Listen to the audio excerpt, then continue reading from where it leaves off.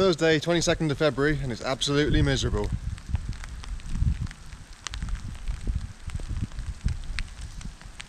The rain's actually eased off a little bit now, but it was properly torrential about an hour ago. So it was raining up to above 2,000 metres last night, at least according to the weather reports.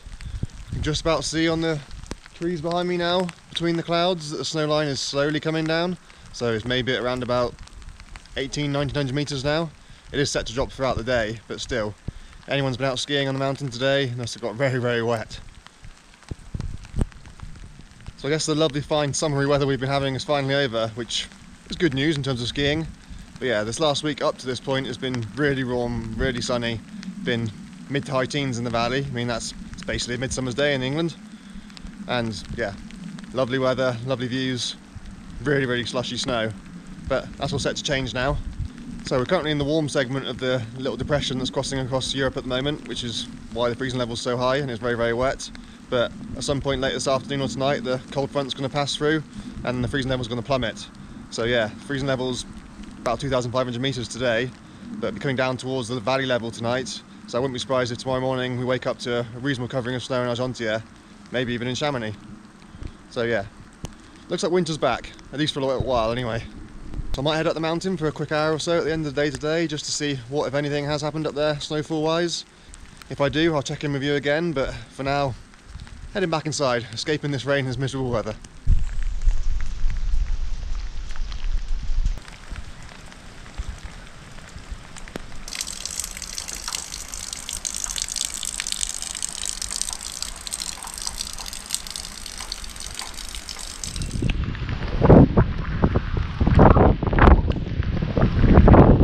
So I didn't go up anywhere in the end today. The weather really deteriorated. I wouldn't be surprised if they shut all the lifts. As you can see, it's pretty horrific. If anything, the snow line seemed to go up during the day, not down, from the brief glimpses of the trees that I could see. Basically, they're all brown now, there's no snow on the trees at all. So, yeah, would not have been pleasant skiing anywhere today. So, yeah, definitely glad I didn't go up. But tomorrow, it is going to be a powder day. So I have to start planning for tomorrow now and playing the perpetual game of where's going to be best to go, where's going to be most likely to open first, etc, etc. Answer will probably be Courmayeur. But yeah, as of now, torrential rain, strong winds, and not pleasant at all.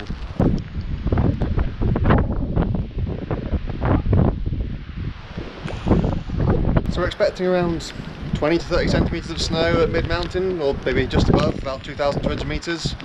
And then potentially some reports are saying 56 centimetres, maybe even more up on the upper mountain, so above 3,000 metres.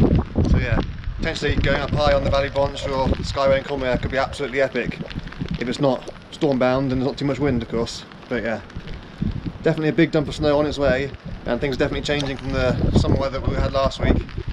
So far it looks like it's set to stay cold for at least the next four or five days which is promising so even if we can't get out tomorrow there's more snow coming again Sunday Monday so finally those of you who are coming out here this weekend might actually start to look a little bit like winter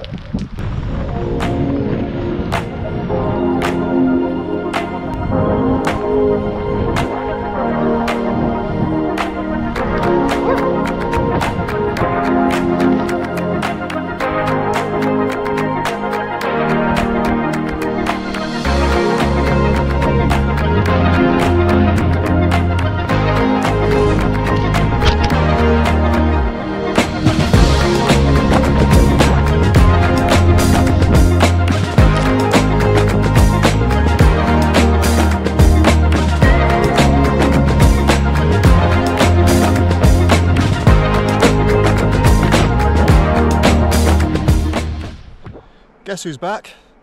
Winter's back. And what an epic day it was. So I came over here to Courmayeur in the end. It was definitely the right decision because in Argentière this morning there was maybe two or three centimetres of slushy icy snow whereas over here at a similar elevation there's nearly a foot. And of course up on the mountain there was so much more. So yeah, pretty epic conditions today. So for the first time ever there was actually a queue here when I got to the car park and there was a delayed, delayed opening which I've never seen in Courmayeur before. So that shows you how much snow there was up there. But even so, it was definitely much better than being in Chamonix because basically pretty much all of the Brevent Flégère didn't open today, or at least anything worth skiing, or it was on hold until midday. And Tête de Balme at the Tour, which is where the other good skiing would have been today, that was also on hold to midday. which meant that basically everyone in Chamonix would have been going to Grand Montet and it would have been absolutely rammed. And yeah, remarkably, it opened at 9am, which never happens, but like I say, everyone in Chamonix would have gone there, so it would have been one run and done. It would have been completely trashed by 10am. So yeah. Whereas Courmayeur, even at the end of the day, you're still being able to find fresh tracks. So for the first time in a long time, we've had a dump of snow and it's staying cold for at least the next three, four, five days. Indeed, there's probably more snow on the way Sunday into Monday as well. Although won't be quite as much as there was today, but yeah, every little helps. Yeah, the sun is very strong at this time of year, so south-facing slopes, even altitude, the snow's completely cooked.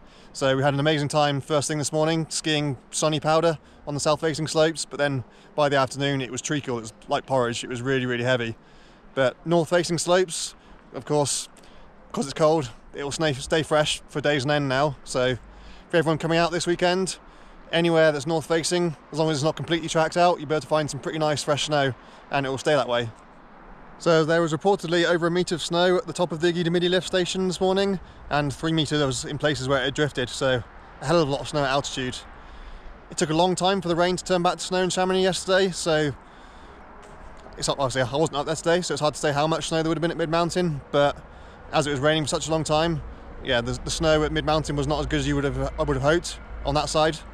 On this side, it was brilliant, but yeah, certainly up in the high mountains, there's been a hell of a lot of snow over the last few days. Over here, in places, if you took your snowboard or skis off in the trees and stepped off into the snow, you'd disappear up to your waist and you wouldn't be hitting the crust in the bottom, so pretty much bottomless, which is pretty rare and pretty awesome. Of course, the avalanche risk has also been pretty high, more so on the Chamonix side than this side. It was only, well, I say it was only, it was avalanche risk 3 today in Courmayeur, it's 4 in Chamonix above 2,000 metres, and yeah, there was a lot of winds accompanying the snow, so I wouldn't be surprised if there's been people caught out in avalanches today. Attention, attention, attention Allez, allez, allez, allez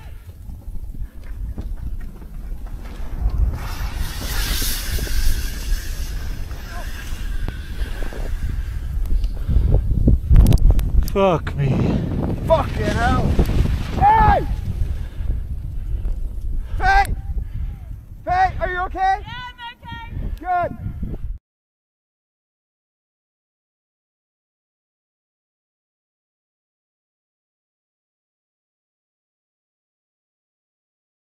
On this side, everywhere where they've been blasting, the, the avalanche debris and run out was pretty huge. So there's a lot of snow and a lot of a lot of wind. So yeah, definitely worth bearing in mind if you are heading into off-piste. As for the on-piste conditions, of course they're now absolutely amazing pretty much everywhere. Fresh snow always helps, and as it's staying pretty cold, it's going to stay good for a long, for basically all week at least, I'd imagine.